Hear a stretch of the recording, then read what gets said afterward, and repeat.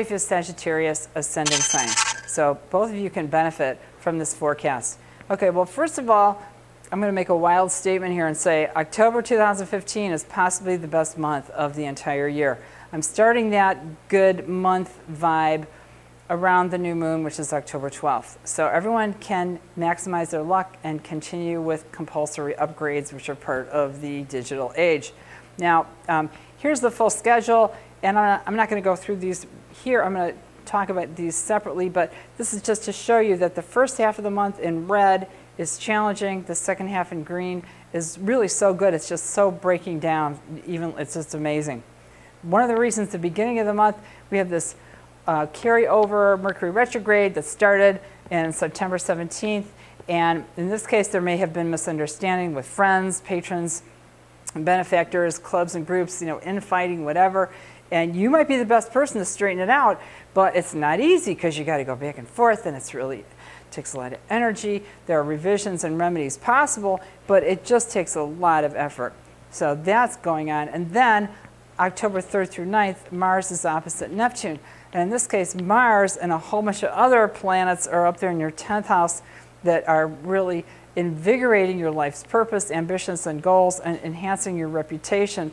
But you have a very complicated situation that exists with your family or maybe your property um, Neptune is the planet of glamour, sensitivity, spirituality, and mysticism, but also illusions, trickery, toxins, and chaos. So you are in an ongoing situation to, to you know, play up the glamour and, and maybe the mysticism of your home, but also to watch out for the toxins and chaos. So this is going to be a big project, but a really worthwhile one because as you elevate to more potential in your life's purpose, you have to make sure you have a good foundation. October 4th through 9th, the Sun is square Pluto. Squares are a little more challenging than opposition, but this is, you know, moved through fairly quickly. In this case, the, um, the Sun is in your 11th house of benefactors, patrons, and friends, and Pluto in your second house is you really want to control your materials, tools, resources, and your instincts. And maybe you even have trade secrets. You may have amassed a, quite a lot of wealth or power that you don't necessarily want people to know about or maybe you have a lot of energy just transforming what you already have.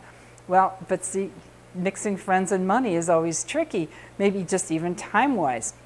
Maybe you want to be real involved with your friends, but you don't want them to know what you're doing, and that's your prerogative. But, you know, they're going to want to know. So you have to politely say, well, or maybe even the best kept secret is don't make it look like you have any secrets, right? Um, October 6th through 16th, Jupiter is trine Pluto. So here again, Jupiter in your house of um, ambitions and um, high aspirations in elevating your career, your goals, your reputation. Now this is going to work really nicely with whatever kinds of materials or tools you've amassed and whatever your instincts and your trade secrets. This will work really well together. That is, you could elevate your reputation based on what you have or what you know. October 9th, Mercury goes back to prograde, so that's a sigh of relief um, whatever efforts you've made to patch things together with your benefactors, patrons, and friends is probably working or you have less responsibility in that regard. And then October 12th, we have a new moon near the star Spica, and um, the full-time window is the 10th through the 14th. So here again, emphasizing benefactors, patrons, and friends. And here's a whole now, a whole new phase where either you're seeing people you haven't seen for a while, you're starting up with new groups, that you have um, just hopeful and wishful things. Now, new moons are a little introverted, but you do want to get out there and either introduce yourself and meet people or, you know, just um, get yourself out there even if you don't really feel like it. I mean, once you get in the swing of it, it's, um, it'll be fun. Um, and especially since, since this new moon is near the star Spica, it's going to emphasize really, um, you know, potent topics of science, um, agriculture, philosophy, and that you can be on the scene with music and art and just culture that, that um, revolves around science, agriculture, and philosophy. And um, the issues are hope versus cynicism, so you really need your good judgment in there and of like what things are really truly hopeful and what things maybe you want to be a little more skeptical regarding.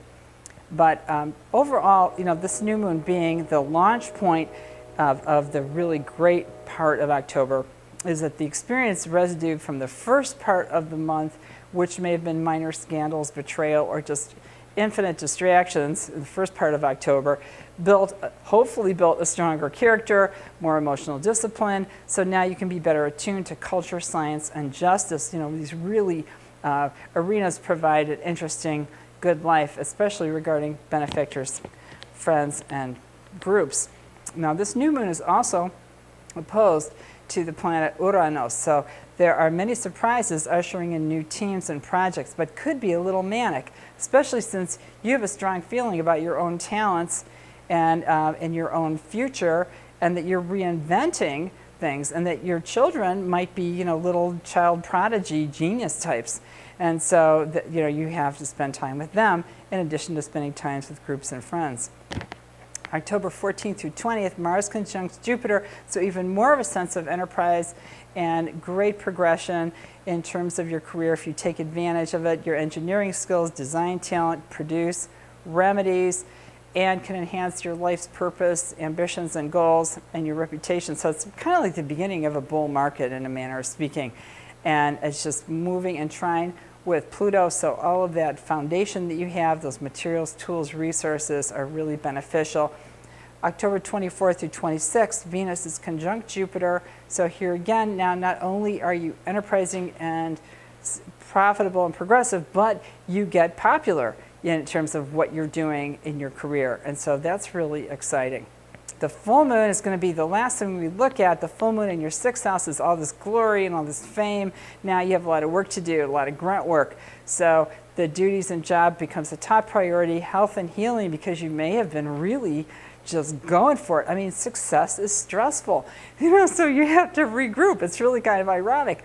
But, um, and also accounting and things, and also just kind of thinking about the morality. Is everything fitting your vision of what you think is right or what should be done.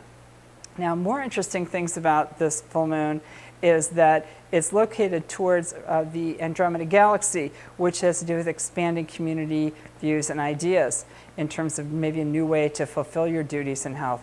And also near the triangle, which is justice oriented, truthful, and righteous, so that you can go about your job in a very you know, benevolent manner, and that you can learn more about the force behind organisms, biological. This is very important for health because then you can be more in tune with your own health and your own physical body. And also with, uh, it's near the horns of the ram so that you can, uh, regarding, you know, a little bit inch by inch, life's a cinch, right? That's sort of a sort of a stupid uh, cliche. But in this case, there's so much to do, but slow but sure, you can see the progress in terms of duties. And just a really great time of the month. October is outstanding. I hope you can take advantage of it because November is going to be a very, very different situation. It's going to be a little more stoic and sacrifice. We all have to toughen up. So go for your maximum benefits in October because in November it's a whole different thing because we have to be more on guard and stay cool. But in October is a really all, you know, the second half of October, all systems go. So I hope it works out well for you. Thank you for watching. My name's Victoria Martin.